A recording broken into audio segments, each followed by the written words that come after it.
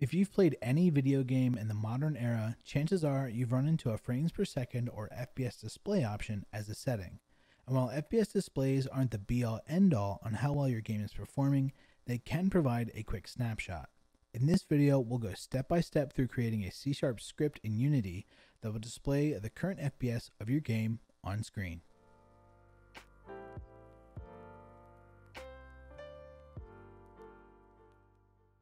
The first thing that I want to do is navigate to my scripts folder, go into UI in this empty folder, right click, go to create, we're going to create a new C sharp script.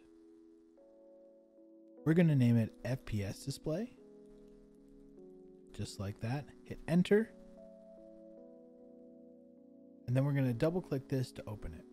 Once your script is open, we can make a few really quick adjustments. We're not going to be using a start function here, so we can get rid of that.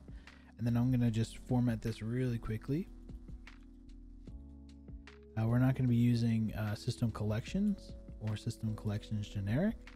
Uh, I'm going to import the uh, text mesh pro library um, because that's what we'll be using. We'll be using uh, text mesh pro for our text. So TM pro semicolon. Uh, and then everything for this is pretty much going to go in the update function. So I'm just going to delete this comment uh, and then declare our variables. The first variable that I'll declare and make a public variable is our text mesh pro UGUI. So we have that. And I'm just going to call this FPS text. And then we'll need three other variables. We'll need a float, which is the polling time. And you can set this to whatever you want. This is how frequently uh, your FPS display will update. We'll need to measure the time, so we'll create another private variable called time here. We'll also create a an int here for the frame count. And this will just be uh, essentially measuring how many frames have passed within our polling interval, our polling time. So if you're not aware, update happens every single frame that your game runs. So uh, FPS is actually a great thing to fit in here because of that. Um, so what we're going to do first is um, add the time that has passed between frames, between the last frame and the current frame. So we're going to add that to our current time. Um, so we're going to do a plus equals time dot delta time. And then uh, we're going to increment our frame count. So we're going to do a frame count plus plus, which is the same as frame count plus one. Then we want to create an if statement here. So we're going to do if time is greater than or equal to the polling time. This is just checking essentially if our value has been met, if we've met this increment yet. So what we want to do now is declare a local variable. It'll be an int for our frame rate.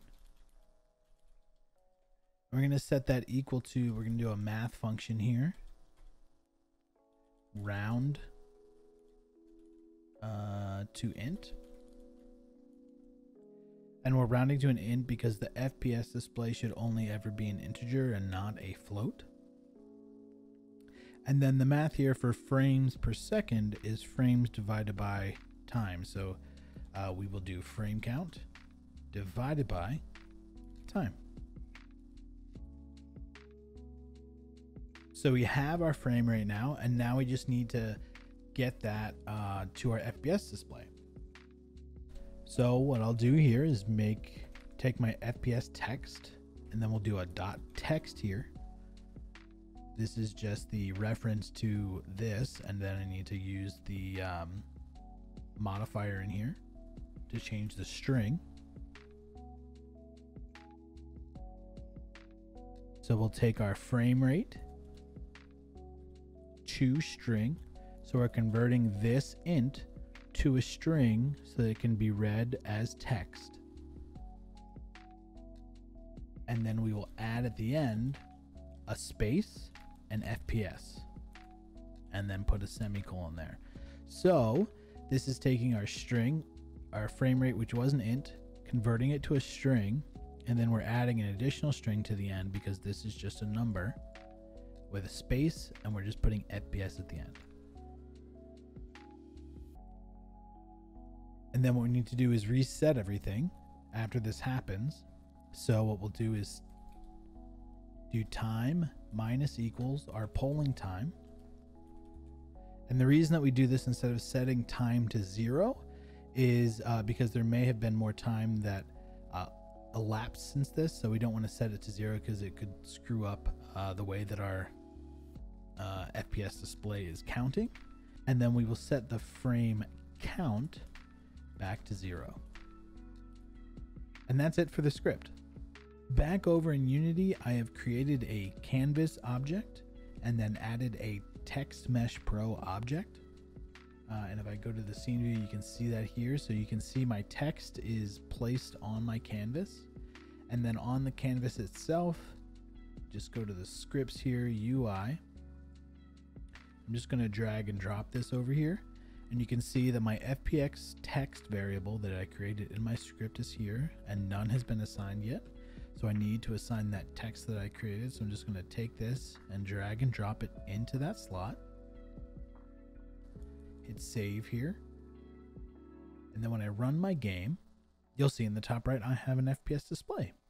If you want your polling rate to be higher or lower, you can just go back into the script and change this Alternatively, you could also just make it a public float and then in your uh, inspector, you can change that.